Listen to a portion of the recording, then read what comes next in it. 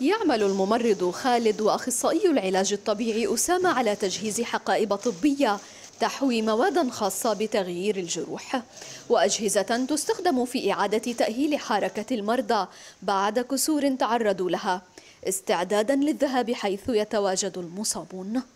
بعد اكتمال التجهيزات سنبدأ جولة مع هذا الفريق الطبي في زيارته إلى بيوت مرضى ومصابين يواجهون صعوبة في الحركة والتوجه نحو المستشفيات لتلقي الرعاية الصحية.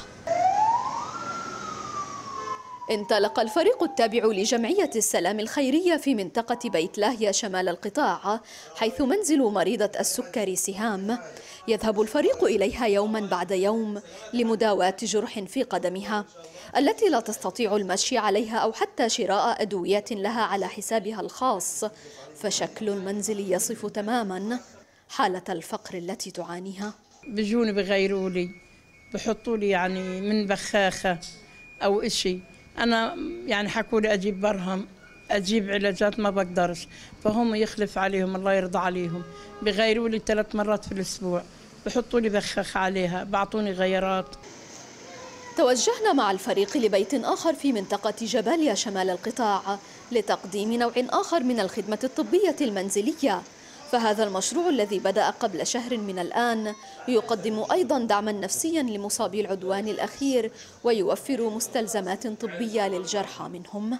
يقوم المشروع بتقديم العديد من الخدمات الطبية مثل جلسات المتابعة الطبية جلسات العلاج الطبيعي الجلسات التمريضية وجلسات الدعم النفسي.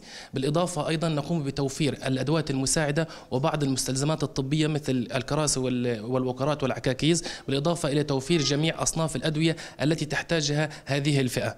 ترعى مؤسسة أحباء غزة ماليزيا مشروع الخدمات الصحية المنزلية لمدة عام من الآن. عبر فريقين طبيين يصلان للفئات المهمشة في مناطق غزة وشمال القطاع. الهدف من هذا المشروع هو إيصال الخدمات الطبية إلى المنازل خصوصا للفئات الهشة والمهمشة والغير قادرة على الوصول إلى المستشفيات والوصول إلى مراكز تقديم الرعاية الصحية بشكل كامل. تساند هذه الفرق الطبية الجوال القطاع الصحي الحكومي في غزة والذي تغيب عنه قدرة الوصول للمرضى داخل بيوتهم لتقديم الرعاية المستمرة لهم بعيدا. عن المستشفيات. نيفين سليم الغد غزة فلسطين.